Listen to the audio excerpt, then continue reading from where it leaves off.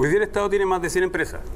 Y eso para que lo tengamos claro, porque se dice que somos un país neoliberal, yo creo que no es un país neoliberal, es un país que ocupa la economía libre de mercado, que es simplemente la transacción de productos a través de precios, de servicios a través de precios. Y eso funciona, es el mejor sistema que ha funcionado en el mundo hasta el minuto. Si alguien tiene algún otro modelo que haya funcionado en otro país, de verdad, no lo conozco, porque los modelos que conocemos y que tratan de hacernos creer que son buenos, son precisamente de los países de donde vienen arrancando personas y vienen a nuestro país buscando un mejor país. Por lo tanto, de verdad, cuando vemos que nosotros tenemos una sociedad civil empoderada, personas que quieren ayudar.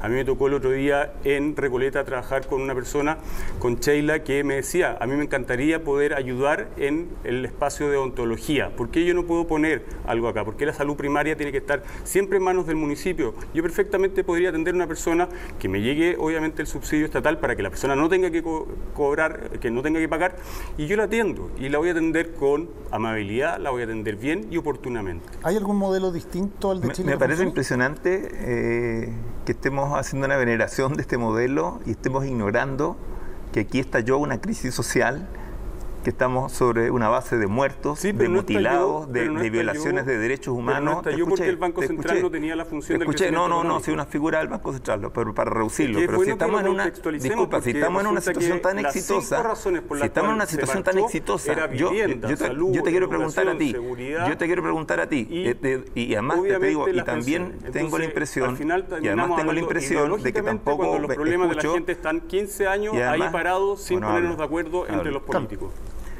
Estoy diciendo que de dónde, de dónde, cuál es el origen que creen entonces que tuvo la crisis social con tanto... disculpa, déjame terminar, por favor, déjame terminar, déjame terminar, porque también me gustaría hacer la pregunta a la concertación. Yo no he escuchado tampoco a Álvaro Elizalde, tampoco he escuchado a Araldo Muñoz, tampoco he escuchado a Paula Narváez, pero tampoco lo he escuchado a usted dar qué explicación tienen de lo que ocurrió en Chile porque de lo contrario no tenemos idea o no nos ponemos de acuerdo al nivel que tenemos que intervenir este modelo de sociedad y este modelo de economía en la constitución, en la nueva constitución. Estamos sentados en una tremenda responsabilidad y me preocupa porque eso es una, una actitud, me parece a mí, y otro decir bien francamente, obstruccionista, que creo que se va a tener que hacer responsable de que esta crisis siga estallando y que podamos entrar posiblemente en un ciclo prolongado de inestabilidad política que no lo está discutiendo nadie ni tiene soluciones conspirativas, como también mucho tiempo tu gobierno pensó. Chadwick estuvo mucho tiempo pensando que esto lo dirigían desde cientos centros conspirativos. Al final los días se dieron cuenta que no tampoco. Entonces tenemos un problema real de desvinculación, de un abismo entre política y sociedad del cual hacernos cargos, todos, todos.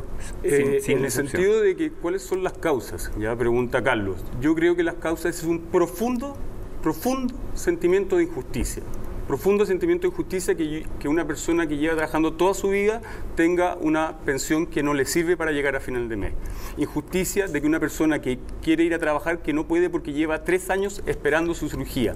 Injusticia porque una mamá tiene que cruzar tres comunas para llevar a sus hijos a una educación de calidad.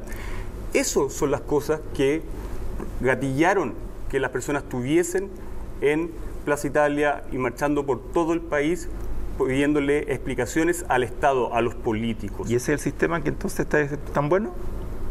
Ese es el sistema que tiene que cambiar. Ese es el sistema que tenemos que, de ahora ya, poner a la persona en el foco, a la persona que más lo necesita en el centro. Y no anteponer la ideología. ¿Por qué no podemos resolver de una vez por todas, con 200 millones de dólares? La lista de espera llevan años esperando a esas personas. meterle más plata ¿Por qué no? a lo mismo.